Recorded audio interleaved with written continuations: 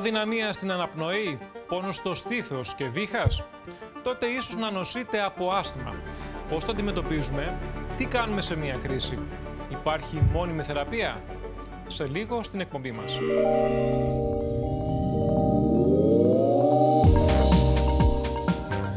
Κυρίες και κύριοι, καλωσορίσατε σε μια ακόμη εκπομπή της ΣΥΕΣΙΣ. Ενήλικοι αλλά και έφηβοι είναι εκείνοι που αντιμετωπίζουν συχνά πλέον πρόβλημα αναπνοής. Το περιβάλλον, τα κληρονομικά χαρακτηριστικά, το κάπνισμα μπορεί να είναι μερικοί και μόνο από τους παράγοντες εκείνους που μπορούν να προκαλέσουν ε, το λεγόμενο άσθμα. Σε ήπια, μέτρια αλλά και σοβαρή μορφή.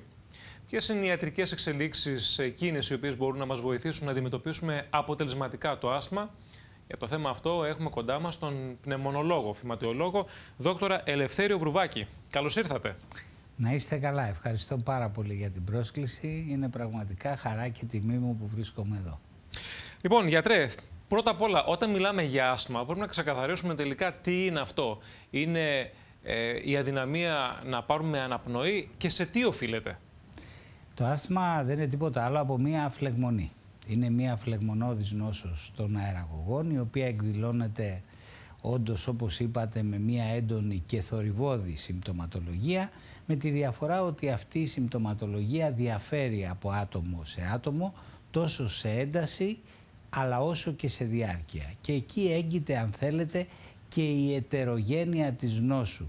Και για να το πούμε έτσι πολύ απλά, θα έλεγα το εξής ότι μέσα σε ε, αυτή την αίθουσα που βρισκόμαστε μπορεί να υπάρχουν πέντε άνθρωποι και οι πέντε να έχουμε άσθημα.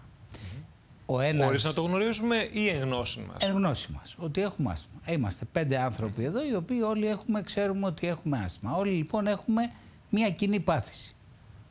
Παρ' όλα αυτά, ο ένας να μπαινοβγαίνει από εμάς στο νοσοκομείο, ο άλλος να έχει ένα απλό εισπνεόμενο το οποίο μπορεί να το χρησιμοποιεί σε πολύ μακρά χρονικά διαστήματα. Σπάνια δηλαδή. Σπάνια. Ναι. Ο άλλος να έχει ένα εισπνεόμενο το οποίο να το χρησιμοποιεί σε σταθερή αγωγή και σε σταθερή φαρμακευτική ε, δόση και ο άλλος να μην παίρνει απολύτως τίποτε.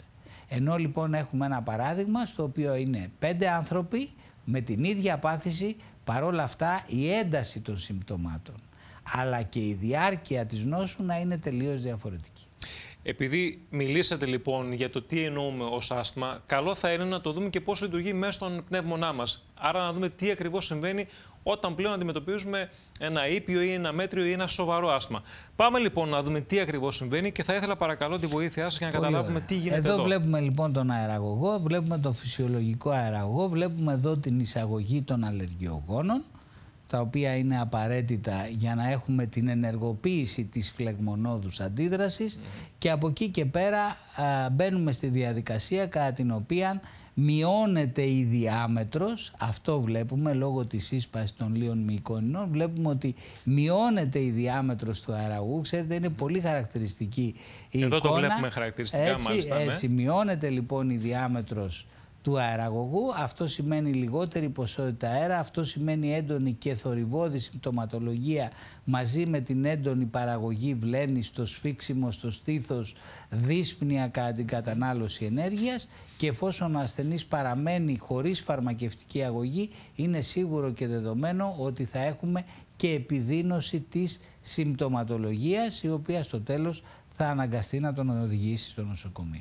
Δύο από τα βασικά χαρακτηριστικά γνωρίσματα του άσθματος γιατρέ είναι η δύσπνοια και ο πόνος στο στήθος. Αυτό μπορεί να ε, παρερμηνευθεί, να το πω έτσι, από έναν ασθενή ο οποίος δεν γνωρίζει ότι έχει άσθμα με κάποιο καρδιολογικό ίσως πρόβλημα. Βεβαίως. Πολύ συχνά ε, ένα μεγάλο, μια μεγάλη γκάμα αν θέλετε ασθενών μου ε, που βλέπω τουλάχιστον ε, για πρώτη φορά πριν έρθουν σε μένα είχαν πάει στον καρδιολόγο. Γιατί, Γιατί η καρδιά φοβίζει. Η καρδιά φοβίζει πάρα πολύ. Οπότε αυτό έχει σαν αποτέλεσμα όταν υπάρχει κάποιος πόνος, υπάρχει κάποιο αίσθημα δυσφορίας κλπ. Το πρώτο το οποίο θέλουμε να διασφαλίσουμε είναι ότι δεν είναι κάτι καρδιολογικό.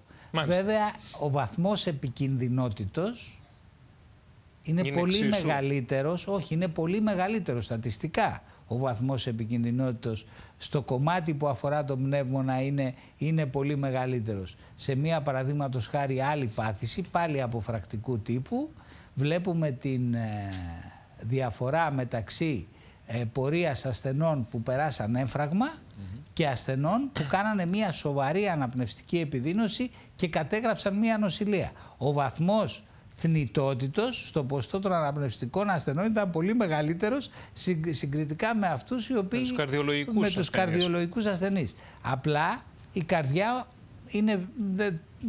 Δίνουμε μεγαλύτερη βαρύτητα. Δίνουμε μεγαλύτερη βαρύτητα στην καρδιά. Αυτό βέβαια είναι ένα κομμάτι, είναι λάθος. Έτσι, ο πνεύμονας παίζει πολύ σημαντικό ρόλο. Α μην ξεχνάμε αφορά... ότι μεταφέρει το οξυγόνο που θα πάει Βεβαίως, στη καρδιά. Είναι αυτό το οποίο χρειάζεται για να μπορούμε να έχουμε ενέργεια, για να μπορούμε να υπάρχουμε, να μπορούμε να λειτουργούμε, να χαιρόμαστε, αν θέλετε, την καθημερινότητά μας. Άρα λοιπόν περιορίζεται ο όγκος του αέρα που μπορεί να μεταφερθεί μέσω των ε, ινών, των πνευμόνων στο σώμα μας και εκεί λοιπόν αρχίζουν τα προβλήματα. Αρχίζουν τα προβλήματα τα οποία συνήθως, ε, ξέρετε το πρωταρχικό βέβαια σύμπτωμα είναι ο βήχας.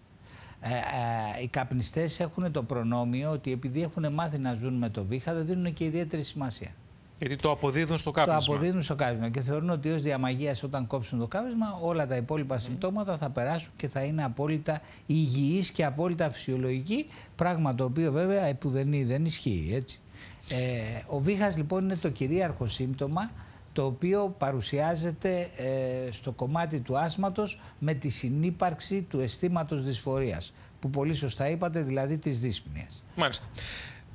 Θέλω να πάμε στους αθλητές, στις εγκυμονούσες και βεβαίως σε εκείνους οι οποίοι παραπονούνται ότι υπάρχουν από αλλεργική ρινίτιδα. Να τα δούμε λίγο αυτά επιγραμματικά, γιατί είναι κατηγορίες οι οποίες είναι, είναι κατηγορίες, κατηγορίες μεμονωμένες, οι οποίες όμως είναι πολύ σοβαρές και αν θέλετε απασχολούν και ένα αρκετό, αρκετά μεγάλο κομμάτι των συμπολιτών μας. Σε ό,τι αφορά το κομμάτι του αθλητισμού, αυτός ο οποίος έχει άσθημα μπορεί να γυμνάζεται. Βεβαίως. Και μπορεί και, πρέπει, και απαιτείται.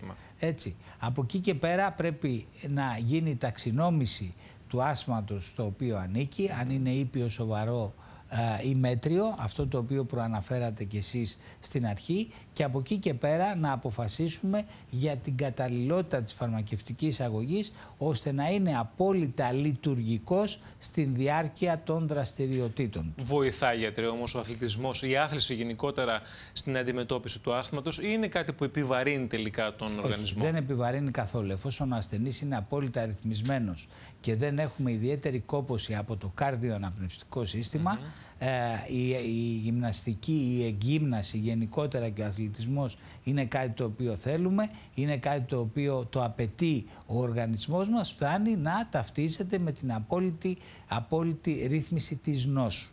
Είναι χαρακτηριστικό βέβαια ότι οι αθλητές οι οποίοι ασχολούνται σε επαγγελματικό επίπεδο, όπως γνωρίζετε, επειδή θεωρείται ε, τα εισπνεώμενα τα οποία χορηγούμε θεωρούνται ένα είδος ντοπαρίσματος, δηλαδή ναι. ότι προωθούνται στις, ε, αυτοί οι ασθενείς έχουν Ώστε να αναπνέουν καλύτερα. Έτσι, να αναπνέουν καλύτερα συγκριτικά με τους άλλους. Απλά χρειάζεται μία πιστοποίηση και μία γνωμάτευση ότι πάσχει από βροχικό άσμα και ως εκ τούτου δύναται να λάβει φαρμακευτική αγωγή χωρίς κανένα πρόβλημα. Θα κάνω μία παρένθεση πρωτού προχωρήσουμε στην εγκυμοσύνη εδώ και θέλω να αναφερθούμε ακριβώς στα εισπνεώμενα που είπατε προηγουμένως. Ε, αν δεν κάνω λάθος υπάρχει μία παγκόσμια έρευνα η οποία μας δείχνει για την χρήση αυτών των εισπνεώμενων τελικά πόσο μπορούν ή όχι να αποδειχτούν ε, θεραπευτικά για το άσμα ή τέλος πάντων να βοηθήσουν την αντιμετώπιση του. Οπότε παρακαλώ πάμε να δούμε την κάρτα αυτή που αποτυπώνει την έρευνα, την Ζαμπίνα συγκεκριμένα. Έτσι. είναι η μελέτη. Μάλιστα. Λοιπόν, ε, με εκπλήσετε. Τι μας λέει αυτή με, λοιπόν η μελέτη; Με εκπλήσετε. Ε, το, με εκπλήσετε με την έννοια ότι η μελέτη αυτή είναι πάρα πολύ καινούργια. Ε, θέλω να σας πω το εξής. Λοιπόν, αυτή είναι μια πολύ ε, ενδιαφέρουσα μελέτη. Ξέρετε, ε, μέχρι πριν από λίγα χρόνια στις κατευθυντήριες οδηγίες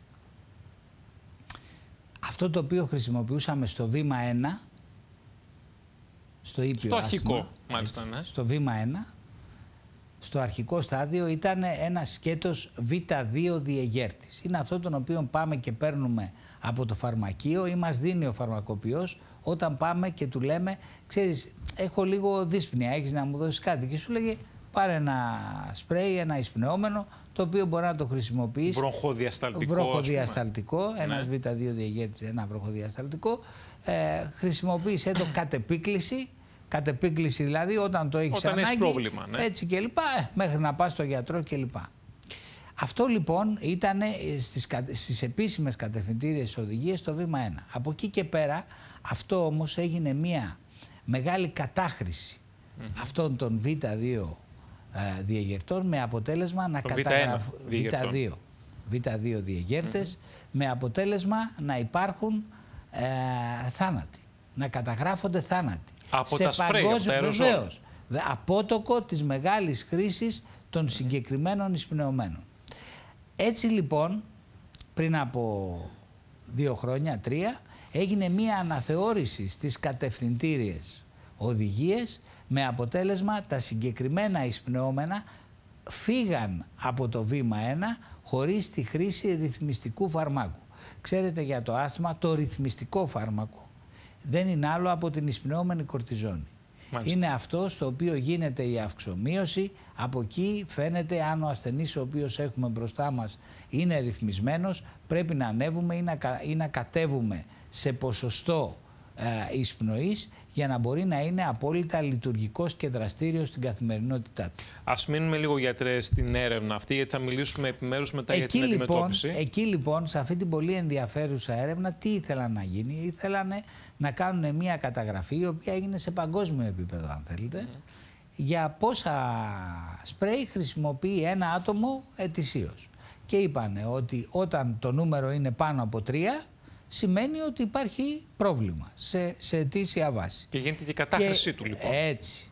Εκεί λοιπόν είδανε το μεγάλο πρόβλημα το οποίο υπάρχει από τη χρήση των εισπνεόμενων βροχοδιασταλτικών, β2 διεγέρτες δηλαδή, όπως πολύ σωστά είπατε, χωρίς τη χρήση ρυθμιστικού φαρμάκου, χωρίς τη χρήση εισπνεόμενου κορτικοστεροειδούς. Το οποίο πρέπει να χορηγείται όμως κατόπιν ιατρικής συνταγής και διάγνωσης. Ε, εντάξει, οι περισσότεροι πλέον το ξέρουν. Μπήκε όμως στη θέση αυτού, δηλαδή στο βήμα 1, στη θέση του Β2 διεγέρτη, ναι. μπήκε ο συνδυασμός, ο οποίος περιέχει και ρυθμιστικό φάρμακο, περιέχει και εισπνεόμενο κορτικοστεροειδές, οπότε αυτή τη στιγμή θεωρώ ότι οι κατευθυντήριες οδηγίες είναι πλήρεις και δίνουν μια απόλυτη ασφάλεια στη χρήση των εισπνεωμένων ώστε ο ασθενής μας να είναι απόλυτα ασφαλής και θεωρώ ότι εάν αυτό εφαρμοστεί γιατί δεν το ξέρουμε αν θα εφαρμοστεί, αν ο κόσμος δηλαδή θα ανταποκριθεί. Εάν ο κόσμος όμως ανταποκριθεί, είναι δεδομένο ότι θα έχουμε μια πολύ μεγάλη πτώση και σε περιστατικά τα οποία δεν θεωρούνται ρυθμισμένα, αλλά και στη δραστική μείωση των θανάτων σε παγκόσμιο επίπεδο. Και εδώ βέβαια γιατρέ λέει... επιβεβαιώνεται ότι σε όλα πρέπει να ισχύει ένα μέτρο, δηλαδή να μην γίνεται κατάχρηση ακόμη και ναι. αυτών των ε, να ακολουθούνται οι κατευθυντήρες οδηγίες τόσο οι ευρωπαϊκές όσο και οι αμερικάνικες και από τους γιατρούς αλλά κυρίως από τους ασθενείς.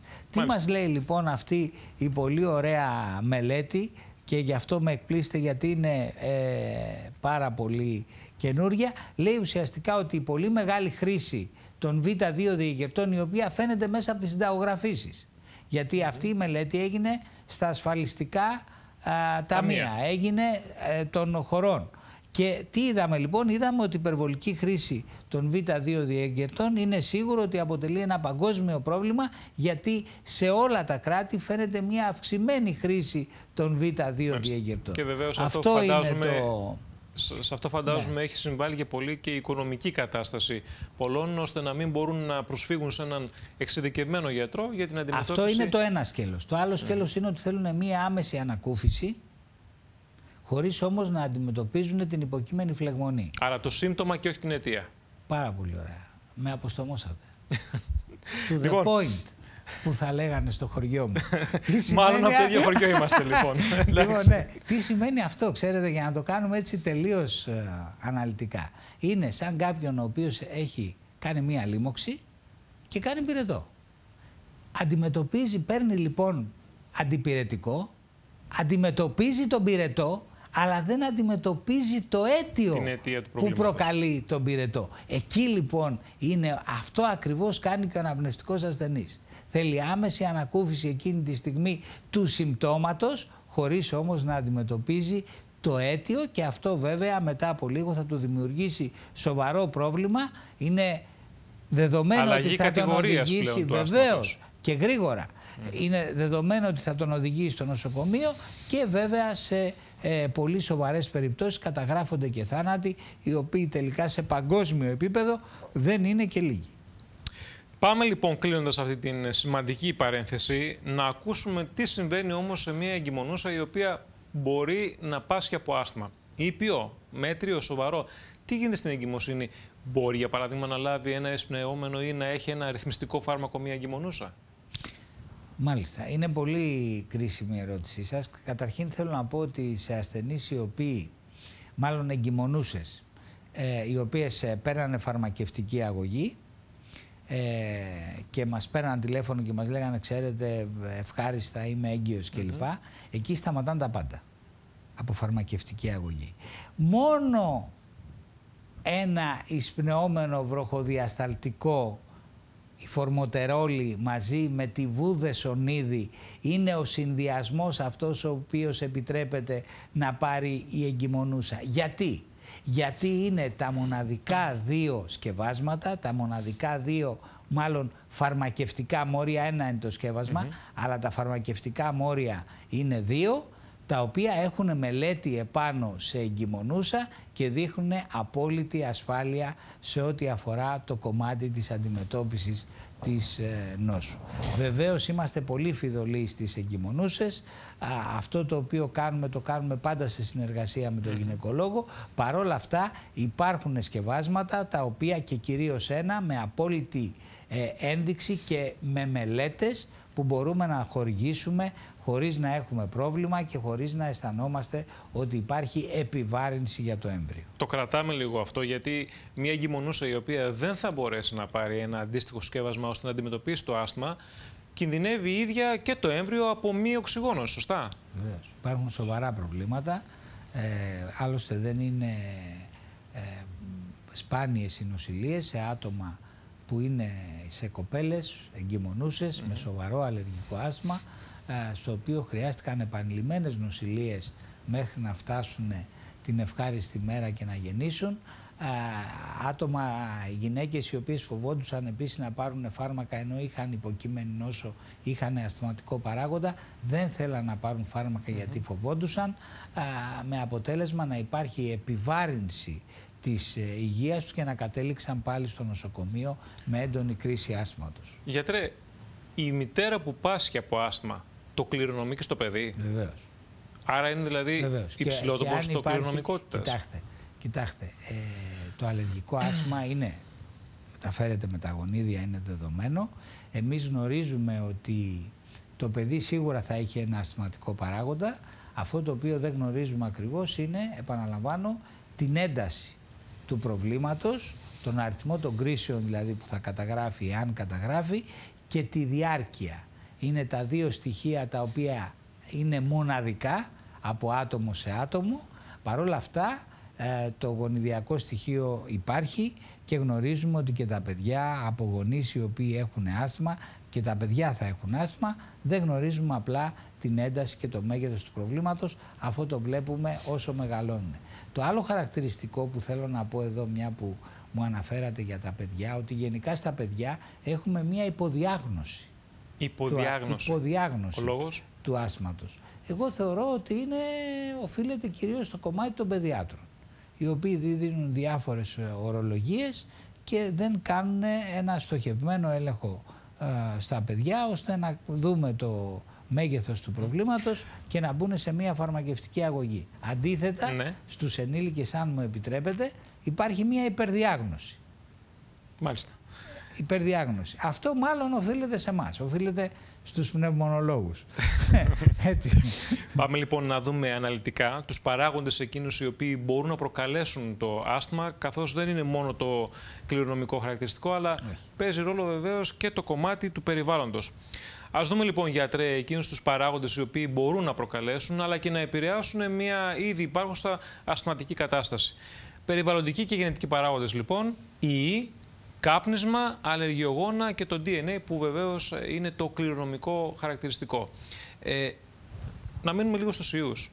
Είναι συγκεκριμένοι οι ιοί που μπορούν να προκαλέσουν Κοιτάξτε, γενικά οι ογενείς καταστάσεις, εμείς το βλέπουμε κυρίως στα παιδιά, τα οποία έχουν ε, ε, έτσι, ασθηματικό παράγοντα, είναι όλο το χειμώνα άρρωστα. Έτσι, είναι όλο το χειμώνα άρρωστα. Μια γρήπη δηλαδή μπορεί να προκαλέσει βεβαίως, διότι λειτουργεί σαν, σαν προσάναμα στο τζάκι. Έτσι, και αυτό είναι το, το, ε, ο κυρίαρχος παράγων, οι ογενείς καταστάσεις. Γι' αυτό λέμε εμβολιασμός ε, στις, ε, στα παιδιά στη σχολική ηλικία, διότι σίγουρα τα προφυλάσσει. Ε, λέμε παρακολούθηση, λέμε φαρμακευτική αγωγή, όχι πολύ μικρά σχήματα, με την έννοια ότι εκεί τώρα το, Όταν λέτε ο γονέας, θα σας πω, ο γονέας το παιδί το πάει στον παιδίατρο. Ο παιδίατρος του δίνει λοιπόν μία αγωγή, αγωγή για 10 μέρες και του λέει μετά εντάξει είσαι καλά, λέει η μαμά είναι καλά γιατί να παίρνει το παιδί φάρμακα, κόβουν τα φάρμακα, μετά από 20 μέρες, 25 έχουμε πάλι τα ίδια. Θέλω να πω δηλαδή ότι το κομμάτι το θεραπευτικό, της θεραπευτικής προσέγγισης, κυρίως στα παιδιά, είναι πολύ ιδιαίτερο. Θέλει ε, μία αγωγή η οποία να έχει μία διάρκεια, θέλει να κρατήσουμε, το κάθε παιδί είναι μοναδικό, σε ό,τι αφορά το κομμάτι των ε, εισπνεωμένων φαρμακευτικών αγωγών και το κομμάτι της αντιφλεγμονώδους αγωγής, δηλαδή του εισπνεώμενου κορτικοστεροειδούς το οποίο πρέπει να λάβει ε, και ε, όσο πιο μικρά σχήματα κάνουμε φαρμακευτικά, τόσο οι αναπνευστικές επιδεινώσεις του παιδιού κατά τη διάρκεια ε, της σχολικής χρονιάς είναι και περισσότερες και πολλές φορές και πιο έντονες. Ένα λεπτό γιατρέ. Εάν ένα παιδί παρουσιάσει συμπτώματα άσθματος σε μια μικρή ηλικία, θα είναι φόρου ζωής δέσμιο μιας αγωγής; Όχι. Εμείς ε, δίνουμε κύκλους φαρμακευτικής αγωγής και όλα αυτά παρακολουθούνται. Αυτή τη στιγμή έχουμε δείκτες με τους οποίους ε, ε, παρακολουθούμε για να δούμε την εξέλιξη της φλεγμονής ε, του άσματος και βάσει του οποίου ε, ενδυναμώνουμε ή αποκλιμακώνουμε την φαρμακευτική αγωγή. Παρ' όλα αυτά τα παιδιά μετά από κάποια ηλικία ε, η νόσος είναι σαν το ηφαίστειο, ξέρετε, το οποίο ηρεμεί. Οπότε, ηρεμεί ή εξαφανίζεται τελείως; Όχι, δεν εξαφανίζεται. Ηρεμεί. ηρεμεί. Οπότε εκεί ο γονέας θεωρείται, ξέρετε, ότι το παιδί έγινε καλά. Και δεν ξέρω έτσι αν επισκέπτεστε κάποια μοναστήρια ή εικόνες κλπ. Εγώ το έχω συναντήσει αρκετές φορές και το παρατηρώ γιατί είναι και η δουλειά μου αυτή, οπότε βλέπουμε, ξέρω εγώ, στις εικόνες μπροστά κάποια εισπνεώμενα. Ναι. Και είχα ρωτήσει λοιπόν εκεί έναν μοναχό σε μία επίσκεψή μου σε ένα μοναστήρι, του λέω, Πάτερ, γιατί υπάρχουν αυτά τα εισπνεώμενα. Μου λέει, ήρθαν οι γονείς εδώ και τα αφήσανε γιατί τα παιδιά τους ε, γίνανε καλά. Διότι είχαν προβλήματα σε πολύ μικρή ηλικία, τώρα είναι μια χαρά. Λέω εντάξει, αν ξανάρθουν οι γονείς όμως, να τους πεις ότι αυτά τα παιδιά περίπου στα 24 με 27 μπορεί να κάνουν μετά από μία απλή ιογενή κατάσταση να ξαναξυπνήσει πάλι ε, ο ασθηματικός παράγοντας, το ηφαίστειο, ναι. μπράβο, και από εκεί και πέρα να χρειαστεί να ξαναμπούν πάλι σε φαρμακευτική αγωγή. Ε, αυτή είναι κάπως ε, η πορεία σε αυτά τα μεσοδιαστήματα του άσματος. Έχουμε εξάρσεις και υφέσεις. Αυτό που πρέπει να καταλάβουμε είναι το εξής.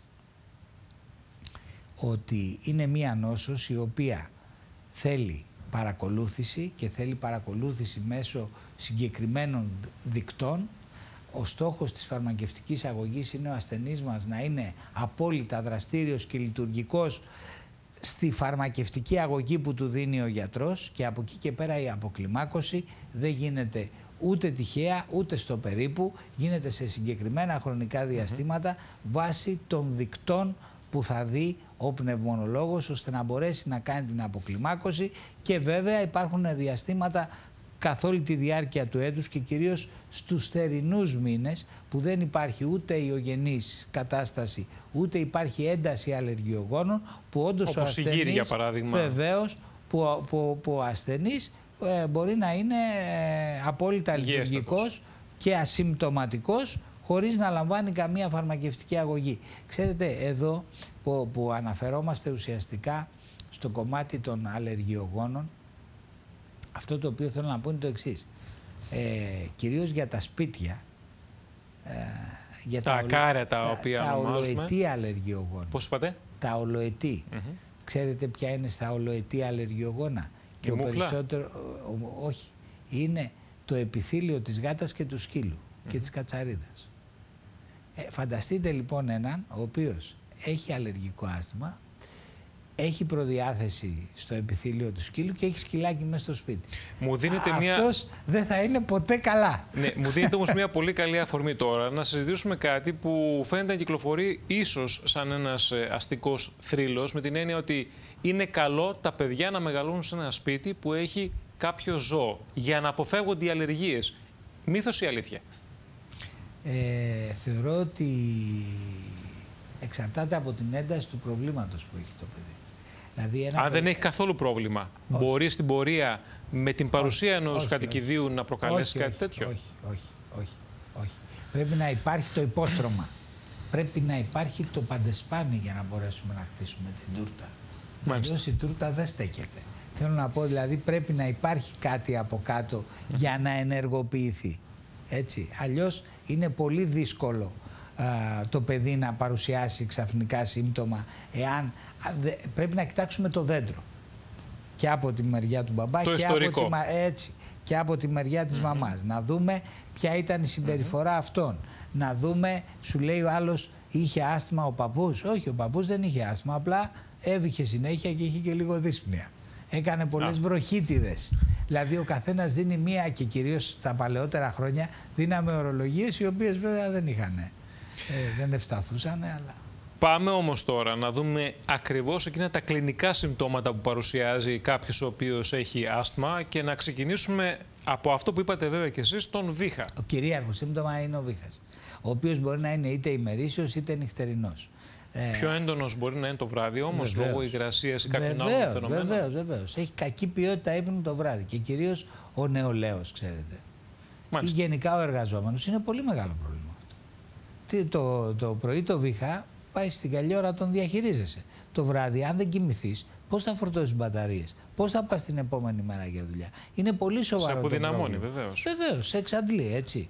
Ε, το κομμάτι της δύσπνοια βεβαίως υπάρχει, αλλά είναι ένας σκαλί κάτω θα έλεγα. Το κυρίαρχο σύμπτωμα στο άσθημα είναι ο βήχας. Το κυρίαρχο πρόβλημα είναι η κακή ποιότητα ύπνου. Στο άσθημα, ξέρετε, έχουμε και ημερήσια, αλλά έχουμε και νυχτερινά συμπτώματα. Και το παράδοξο, το μεγάλο παράδοξο εδώ, ξέρετε ποιο είναι, ότι στην ταξινόμηση των συμπτωμάτων ένα αρρύθμιστο άσθημα διαφαίνεται με κλίμακα συμπτωμάτων εβδομαδιαίας ή μηνιαίας βάσης. Έρχεται λοιπόν ο άλλος, ο ασθενής στο ιατρείο και σου λέει «Γιατρέ καλά είμαι». Απλά να, ε, το βράδυ, κάθε βράδυ θα βήξω μια φορά και θα με ξυπνήσει. Αλλά γενικά καλά είμαι. Απλά αυτό αν μπορούμε να, να λύσουμε. Και τελικά, όταν αυτό θα δεις, δηλαδή αυτός θεωρεί τον εαυτό του καλά και αυτός είναι στην κατηγορία του σοβαρού άσθματος. Με καθημερινά συμπτώματα. Καταλάβατε πόσο χάσμα υπάρχει στο κομμάτι της αξιολόγησης και της τοποθέτησης σε ποιο κουτάκι αν θέλετε μπαίνει αυτός ο ασθενής ναι. για να μπορέσει να λάβει την κατάλληλη φαρμακευτική αγωγή. Τα υπόλοιπα κλινικά συμπτώματα γιατρέ μπορούν να μας βοηθήσουν να έχουμε μια πιο σαφή κατηγοριοποίηση από τη στιγμή που είμαστε εμείς οι ίδιοι ασθενείς; Δηλαδή αν έχουμε παράδειγμα, παράδειγμα βήχα, συρριγμό, είναι αυτό που λέμε το σφύριγμα μέσα από, το, από τους ε, πνεύμονες, σφίξιμο ή βάρος στο στήθος και δύσπνοια. Όλα αυτά μαζί μπορούν να μας, δώσουν, να μας τυπήσουν το καμπανάκι και να θεωρήσουμε ότι είμαστε στην κατηγορία σοβαρού άσθματος. Αυτά βεβαίως, αν εξαρτάται από τι, τι, τι συχνότητα έχουν αυτά. Είναι αυτό που είπα προηγουμένως. Αν η συχνότητά τους είναι ημερήσια, είναι εβδομαδία ή μηνιαία. Εκεί, εκεί γίνεται, είναι συμπτώματα του άσθματος όλα, όπως πάρα πολύ ωραία αναφέρατε. Από εκεί και πέρα η συχνότητα είναι αυτή η οποία θα μας ορίσει που κατατάσσεται ο ασθενής μας. Υπάρχουν παράλληλα όλα αυτά ή μπορεί κάποιο από όλα αυτά να, είναι μεμονωμένα; Μπορεί να υπάρχουν μεμονωμένα ή αναδιάδες, έτσι. Πάντως όλα αυτά, αν συνυπάρχουν, είναι σίγουρα αυτά τα οποία εκ των πραγμάτων θα μας οδηγήσουν είτε σε κάποιο κέντρο υγείας είτε σε κάποιο γιατρό και θα ζητήσουμε βοήθεια. Μεμονωμένα, ξέρετε, μπορεί να μην, αν υπάρχουν μεμονωμένα αυτά τα συμπτώματα, μπορεί να μην πάμε στο γιατρό. Να τα παρεμηνεύσουμε κιόλας. Βεβαίως. Παραδείγματος χάρη, μία δύσπνοια σε έναν καπνιστή, Εντάξει, είναι λογικό, δεν είναι; Παρακάπνισα σήμερα. Μάλιστα. Έτσι. Ένας ξερόβιχας που και που στραβοκατάπια. Δέκα φορές τη μέρα στραβοκαταπίνει. Και πολλές φορές δεν θέλουμε να το πιστέψουμε. Ε, βεβαίως. Μπορεί να έχουμε Όχι. κάποιο πρόβλημα Έχουμε σοβαρό. την τάση να βάζουμε τα προβλήματα και τα συμπτώματα κάτω από το χαλί και να δίνουμε τη δική μας ερμηνεία. Και μόλις δώσουμε τη δική μας ερμηνεία, αμέσως καθησυχάζουμε. Επιτρέψτε μου, γιατί αλλά με το σκεπτικό αυτό θα έπρεπε ο κάθε Έλληνας, 10 εκατομμύρια Έλληνες, να σπέβζουν κατευθείαν στον πνευμονολόγο με το που θα δείξουν ή με το που θα έχουν κάποιο συρριγμό, ο οποίος μπορεί να προκαλείται και από, ένα, από κάποια ακροαστικά τα λεγόμενα.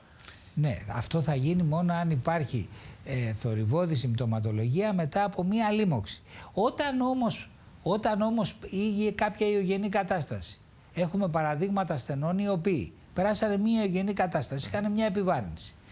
Πήρανε τα παυσίπονά τους, πήρανε τις βιταμίνες τους από μόνοι τους. Δεν χρειάστηκε να πάει στο γιατρό. Παρ' όλα αυτά βλέπεις ότι φεύγουν τα συμπτώματα της ίωσης, του τριημέρου, τετραημέρου και μετά για ένα μήνα βύχεις.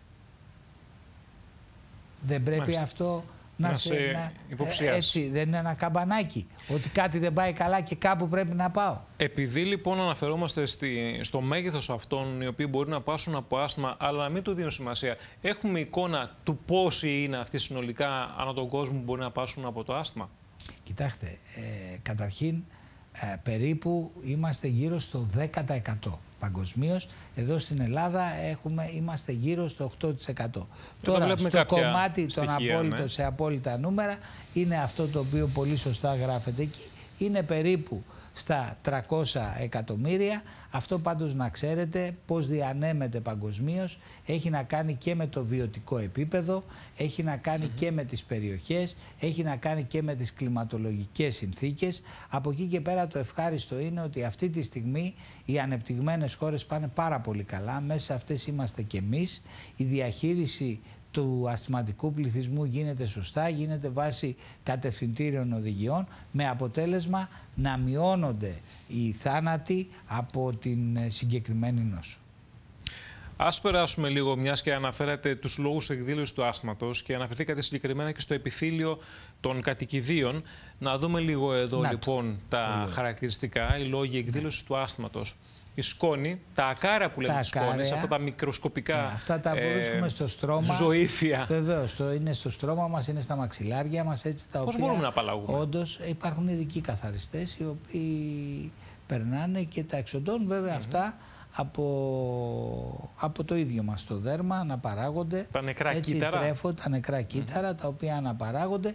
Ε, άτομα τα οποία ε, το καταλαβαίνει ο ασθενής ξέρετε ε, πώς. Κυρίως άτομα τα οποία έχουν μεγάλη ευαισθησία. Όταν ξαπλώνει, ενώ έχει κάνει τον καθαρισμό και είναι μια χαρά, μετά όταν πάει να ξαπλώσει αρχίζει και έχει λίγο βιχαλάκι. Τον ενοχλεί, διότι αυτό με την εισαγωγή και την επαφή και την εισπνοή επανέρχεται, προκαλούν τοπικό ερεθισμό στο τραχιοβροχικό δέντρο και αρχίζει να έχει μία έντονη συμπτωματολογία. Πρακτικά λοιπόν γινόμαστε εμείς οι ίδιοι υπέτειοι για το άσθμα, καθώς το ίδιο το δέρμα μας είναι αυτό το οποίο Βεβαίως, τα η παράγει, τα απολέπιση, νεκρά κύτταρα. Βεβαίως, βεβαίως. Η Μάλιστα. απολέπιση των νεκρών κύτταρων. Επιγραμματικά λοιπόν το επιθύλιο των κατοικιδίων, το τρίχωμα και αυτό Το που τρίχωμα αφήνει... κυρίως της γάτας και του σκύλου που έχει το μείον έκτημα, ξέρετε αυτά να ανήκουν στα ολοετή.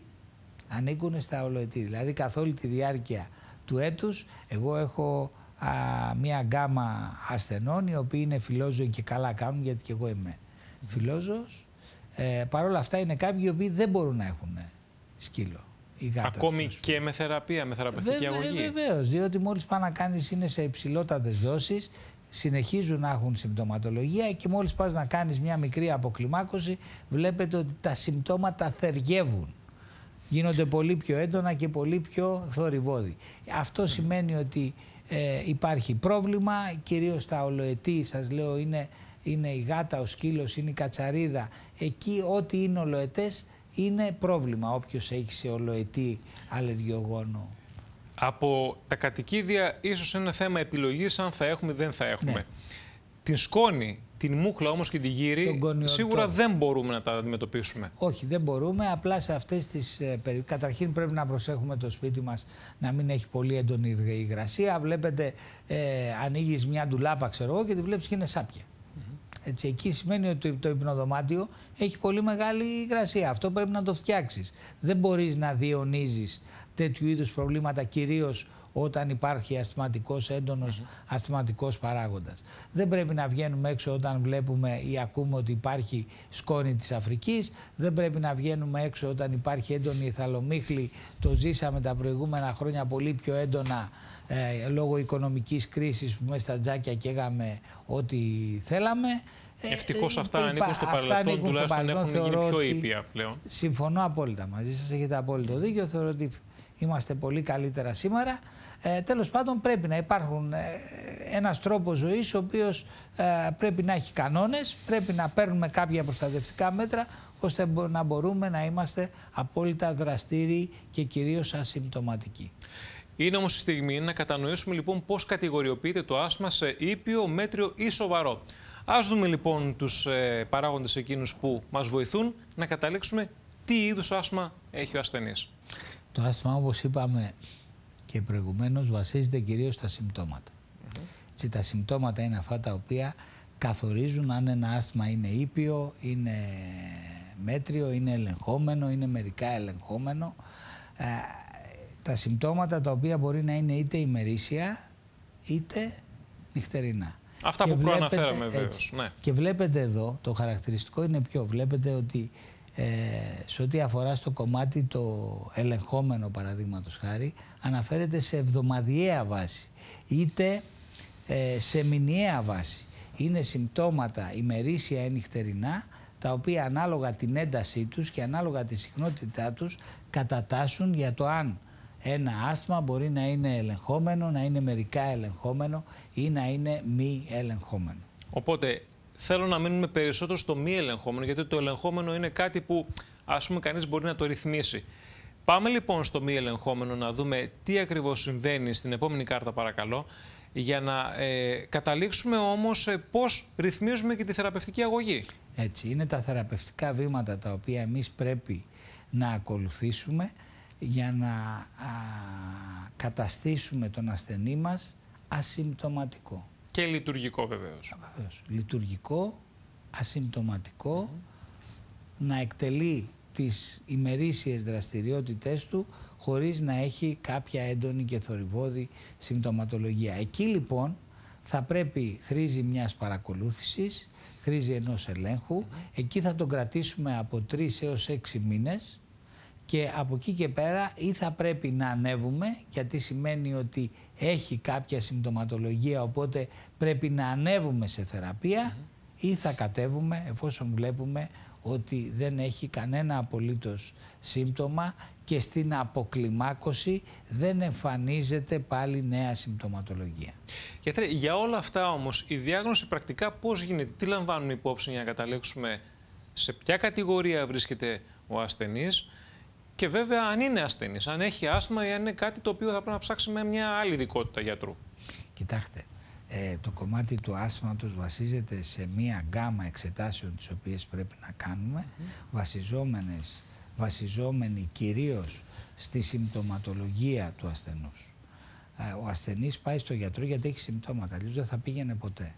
Βάσει αυτού λοιπόν εμείς μπαίνουμε σε μία διαδικασία κάνουμε ένα λειτουργικό έλεγχο αναπνοής, στον οποίο βλέπουμε αν υπάρχει αναστρεψιμότητα, εάν ο ασθενής ανταποκρίνεται στο βροχοδιασταλτικό φάρμακο το οποίο του δίνουμε, αν ελαττώνονται τα συμπτώματα μετά τη λήξη της αγωγής, ελέγχουμε την ένταση της, ε, της φλεγμονής και κυρίως το κομμάτι των ιοζινοφύλων με το εκπνεόμενο μονοξίδιο του αζότου, ζητάμε μία γενική αίματος από την οποία βλέπουμε τον αριθμό των ιοζινοφύλων που έχει στο περιφερικό αίμα, βλέπουμε τον αριθμό των ελεύθερων ανοσοσφαιρινών, είναι δηλαδή ένα κομμάτι ένα το οποίο είναι ένα πακέτο βάσει του οποίου εμείς αποφασίζουμε και την ένταση, βλέπουμε μάλλον και την ένταση του προβλήματος και από εκεί και πέρα ξεκινάμε με μια φαρμακευτική αγωγή που όπως προείπα θα πρέπει να κάτσει εκεί ο ασθενής αυτή την αγωγή από 3 έως 6 μήνες ώστε να μπορέσουμε να κάνουμε τον επανέλεγχο έχοντας αυτή τη βάση δεδομένων πλέον για να δούμε αν πάμε καλά, αν θα παραμείνουμε, αν θα μειώσουμε ή αν θα αυξήσουμε την αντιφλεγμονώδη αγωγή την οποία λαμβάνει ο ασθενής μας. Και βέβαια σε όλα αυτά, εκτός από την κλινική διάγνωση που κάνετε, λαμβάνετε υπόψη και το ιστορικό τόσο του ατόμου όσο και των βεβαίως. Το ιστορικό πάντα παίζει ρόλο. Το ιστορικό πάντα παίζει ρόλο. Συγκεκριμένες ερωτήσεις συμπεριφοράς παίζουν ρόλο. Mm. Παραδείγματος χάρη, μία στάνταρ ερώτηση είναι η εξής. Αν ε, σου πω ένα ανέκδοτο και είναι ωραίο και αρχίσει και γελάς με την ψυχή σου, θα καταλήξεις με βήχα. Είναι ε, κάτι πάρα πολύ χαρακτηριστικό και ξέρετε κάνουμε μία, κάνω μία παρένθεση εδώ, κυρίως τα νεαρά άτομα ε, σταματήσαν να πηγαίνουν στις καφετέριες ή προσπαθούσαν να μην γελάσουν γιατί ξέρανε ότι αν γελάσουν έντονα θα τους πιάσει βήχας.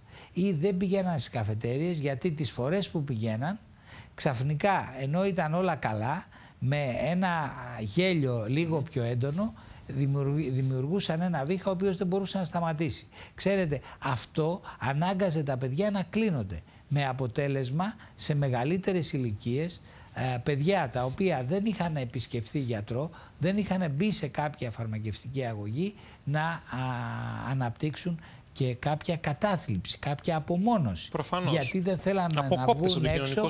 Βεβαίως. Θέλω να πω δηλαδή ότι τα προβλήματα της νόσου που αφορά κυρίως το αναπνευστικό μπορεί να επηρεάσουν και τον ψυχολογικό τομέα και κυρίως την ευαίσθητη εφηβική ηλικία. Έχουμε όμως ε, λοιπόν ένα άσθμα το οποίο μπορεί να έχει διαφορετικά στάδια βαρύτητας, μπορεί να είναι δηλαδή διαφορετικές οι μορφές εκείνες που παρουσιάζει, να είναι ήπιο, να είναι μέτριο, να είναι σοβαρό. Θέλω λίγο να εστιάσουμε στο ήπιο και το μέτριο άσθμα. Πώς ακριβώς λοιπόν αντιμετωπίζουμε αυτές τις καταστάσεις για να περάσουμε μετά στο βαρύ άσθμα. Βεβαίως. Ε, στην Ελλάδα έτσι κι αλλιώς το μεγαλύτερο ποσοστό των ασθενών μας έχει ένα ήπιο άσθμα. Έτσι.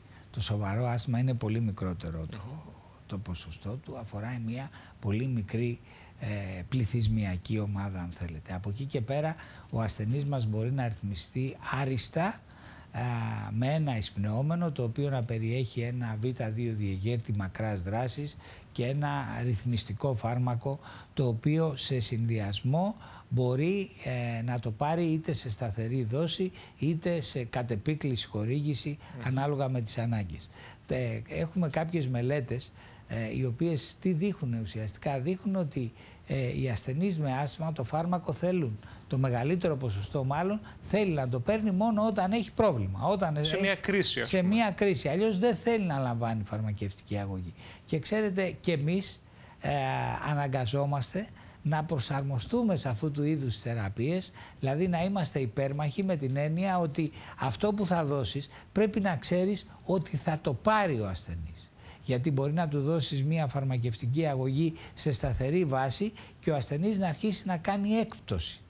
Να μην το παίρνει κάθε μέρα, να το παίρνει κάθε τρεις μέρες, να το παίρνει κάθε πέντε μέρες. Αυτό όμως σίγουρα θα έχει σαν αποτέλεσμα την, να απορριθμιστεί η νόσος και στο τέλος να καταλήξει ε, να κάνει μία έντονη παρόξυνση, δηλαδή μία έντονη ε, αναπνευστική κρίση. Εδώ όμως έρχεται ακριβώς και το άλλο ερώτημα που θέλω να μου πείτε αν αποτελεί μύθο η πραγματικότητα, η χρήση της κορτιζόνης στα ε, ανακουφιστικά φάρμακα για τα εισπνεώμενα. Δηλαδή, είναι κάτι το οποίο μπορεί να επηρεάσει τον οργανισμό μας σε μια μακροχρόνια χρήση; Όχι. Δεν μπορεί να επηρεάσει. τα φάρμακα αυτά τα οποία υπάρχουν είναι απόλυτα ασφαλή. Ε, η κορτιζόνη μπορεί να επηρεάσει μόνο σε, όταν είναι σε πολύ υψηλές δόσεις, να είναι μακροχρόνια και να συμβαδίζει μαζί με λήψη περός κορτιζόνης, δηλαδή από του στόματος. Εκεί όμως μιλάμε για ένα σοβαρό άσθμα και πλέον έχουμε τις λύσεις για το σοβαρό άσθμα. Γιατί Θέλετε να μας πείτε δύο λόγια γι' αυτό; Βεβαίως. Βεβαίως. Έχουμε τις λύσεις πλέον, για εμείς το ζούσαμε παλαιότερα πολύ πιο έντονα, με αποτέλεσμα να έχουμε άτομα τα οποία να είναι κορτικοεξαρτώμενα, να πρέπει να λαμβάνουν καθ' όλη τη διάρκεια του έτους ή το μεγαλύτερο χρονικό διάστημα του έτους να λαμβάνουν κορτιζόνη, που βεβαίως η χρήση κορτιζόνης μπορεί να κάνει, μπορεί να κάνει ε, ζαχαρόδι διαβήτη, μπορεί να κάνει οστεοπόρωση, ε, μπορεί να κάνει έντονες μικητιάσεις. Βεβαίως υπάρχουν προβλήματα σε μακροχρόνια χρήση κορτιζόνης. Από εκεί και πέρα σήμερα με την ύπαρξη των βιολογικών παραγόντων έχουμε κάνει ένα πολύ μεγάλο βήμα ε, σε ό,τι αφορά το κομμάτι της φαρμακευτικής προσέγγισης. Οι ασθενείς ρυθμίζονται με τους βιολογικούς παράγοντες. Είναι μία ένεση μία φορά το μήνα στο μπράτσο. Παίρνουν βέβαια την εισπνεώμενη αγωγή τους, αλλά έχουμε μία μείωση των αναπνευστικών επιδεινώσεων που μπορεί να φτάνει και το 70% και το 80% και αυτό είναι πολύ σημαντικό γιατί για το άσθμα αναπνευστική επιδείνωση σημαίνει περός κορτιζόνη. Σημαίνει ότι ο ασθενής πρέπει να πάρει κορτιζόνη. Αυτό λοιπόν έχει εξαλειφθεί. Οι βιολογικοί παράγοντες αποτελούν για μένα την επανάσταση σε ό,τι αφορά το κομμάτι της ε, θεραπείας. Οι δρόμοι που ακολουθούμε για να αποφασίσουμε ποιον βιολογικό παράγοντα θα δώσουμε είναι δύο. Είναι ο δρόμος με τις ελεύθερες ανοσοσφαιρίνες και ο δρόμος με τα ιοζινόφυλλα στο περιφερικό αίμα. Αυτό Έρχεται, το οποίο... Μισό λεπτάκι, επιτρέψτε μου. Έρχεται λοιπόν ένας ασθενής ο οποίος παρουσιάζει πολύ συχνά συμπτώματα σε σημείο που δεν μπορεί, επηρεάζεται και η κοινωνική του ζωή και σας λέει γιατρέ κάντε κάτι να απαλλαγώ ή τουλάχιστον να μετριάσω την κατάσταση αυτή. Και σας ζητάει εκείνος τη θεραπεία βιολογικών παραγόντων; Ε, δεν θα μου τη ζητήσει αυτό. Θέλω να πω δηλαδή ότι ε, ξέρετε, ξεφεύγουμε από μια πλευρά που μπορεί ο άλλο να αντιμετωπίσει μια. Δεν μπορεί να μπει έτσι. Γιατί πρόσκαιρη η βιολογική, βεβαίως, ακούστε με λίγο. Οι βιολογικοί παράγοντες καταρχήν να πρέπει να ξέρουμε ότι είναι μια πολύ ακριβή θεραπεία. Και ακόμα στην Ελλάδα έχουμε το προνόμιο οι βιολογικοί παράγοντες να συνταγογραφούνται με μηδέν συμμετοχή του ασθενούς και αυτό είναι μια ανακόφιση και βοηθάει και εμάς να μπορούμε να επιλέγουμε τους ασθενείς πολύ πιο ελεύθερα και όχι βάσει το, την οικονομική τους επιφάνεια. Μάλιστα. Ε, από εκεί και πέρα για να μπορέσουμε όμως και εμείς να βάλουμε έναν ασθενή σε βιολογικό παράγοντα θα πρέπει να έχουμε εξαντλήσει τα προηγούμενα βήματα με την έννοια ότι ο ασθενής θα πρέπει να βρίσκεται σε υψηλές δόσεις εισπνεόμενων κορτικοστεροειδών στο μέγιστο, να έχουμε δοκιμάσει να κάνουμε αποκλιμάκωση και να βλέπουμε ότι ο ασθενής μόλις εμείς πάμε να κάνουμε αποκλιμάκωση έχει έντονη και θορυβόδη συμπτωματολογία και από εκεί και πέρα αναδιαστήματα να πρέπει να μπαίνουμε σε περός κορτιζόνη. Εφόσον λοιπόν ταυτοποιηθεί ο ασθενής και πούμε ότι ξέρετε αυτός ο ασθενής έχει μία έντονη ιοζινοφιλία στο περιφερικό αίμα, δεν μπορούμε να κάνουμε αποκλιμάκωση φαρμακευτικής αγωγής, να κατέβουμε δηλαδή από το υψηλό επίπεδο στο χαμηλότερο επίπεδο ναι. στο κομμάτι του ρυθμιστικού φαρμάκου, θεωρώ ότι έχει όλα τα προσόντα να μπει σε βιολογικό παράγοντα. Και είναι δεδομένο ότι θα αλλάξει η ζωή του και στο κομμάτι της καθημερινότητάς του και στο κομμάτι των συμπτωμάτων και στο κομμάτι της δύναμης και στο κομμάτι της ισχύς. Δεν πάβει όμως κάποιος ο οποίος θα υποβληθεί σε αυτήν την μηνιαία, όπως είπατε, θεραπεία με βιολογικούς παράγοντες να λαμβάνει και τα υπόλοιπα εισπνεώμενα. Τα εισπνεώμενα μπορεί να τα λαμβάνει, παρόλα αυτά εγώ σας λέω υπεύθυνα ναι. ότι υπάρχει κομμάτι ασθενών μου που σήμερα είναι μόνο σε βιολογικούς παράγοντες και έχει σταματήσει τελείως τα εισπνεώμενα. Και αυτό πρέπει να γίνεται εφόρου ζωής κάθε Όχι. μήνα; Εμείς ξεκινάμε με κάποια πρωτόκολλα. Ναι. Ανάλογα την περίπτωση αποφασίζουμε για τη χρονική διάρκεια και από εκεί και πέρα, επειδή γενικά οι, βιολογικές, οι βιολογικοί παράγοντες είναι νέα φάρμακα, ακολουθούμε τις διεθνείς κατευθυντήριες οδηγίες και βάσει αυτού αποφασίζουμε και προχωράμε σε 2, 3, 4 ή 5 χρόνια ανάλογα την περίπτωση και την ένταση ε, του προβλήματος που έχει ο κάθε ασθενής. Άρα, αν καταλαβαίνω σωστά, στο σοβαρό άσθμα το τελευταίο προπύργιο είναι οι βιολογικοί παράγοντες με πολύ υψηλά αποτελέσματα. Πολύ βεβαίως, με θεαματικά αποτελέσματα.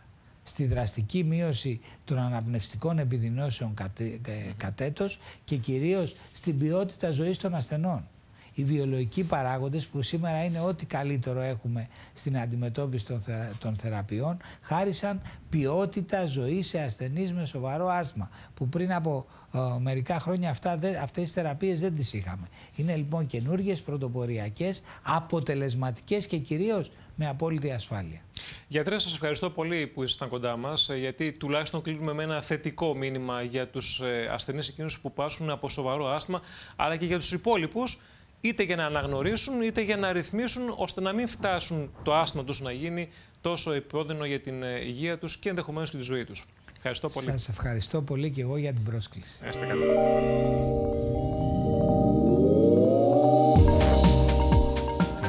Καπνίζετε, πάσχετε από αλλεργίες ή εργάζεστε και ζείτε σε ένα επιβαρημένο περιβάλλον, τότε το άσθμα μπορεί να γίνει μια επώδυνη και βασανιστική νόσος.